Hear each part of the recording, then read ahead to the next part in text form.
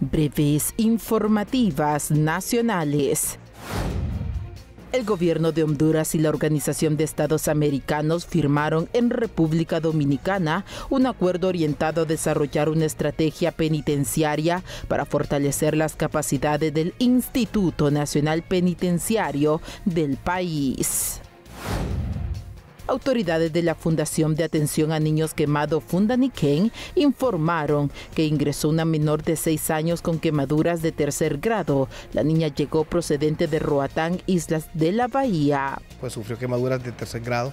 Al entrar en contacto con fuego, pues estaban quemando basura y el fuego alcanzó lo que es su vestido. Este le afectó prácticamente lo que son las piernas, en sus muslos, en la, prácticamente todos los muslos y lo que es la pared abdominal y también parte de su tórax. Cirujanos dentistas de Honduras determinaron dar seguimiento al reclamo administrativo para que se les otorgue el reajuste salarial o de lo contrario no descartan acciones. Cabe recalcar que desde el año anterior vía decreto ejecutivo se determinó el aumento a los cirujanos dentistas. Sin embargo, este no se ha cumplido.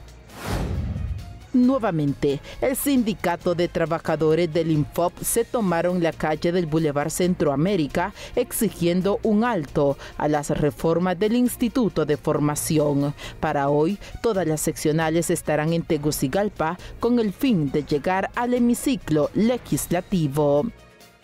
Breves informativas nacionales.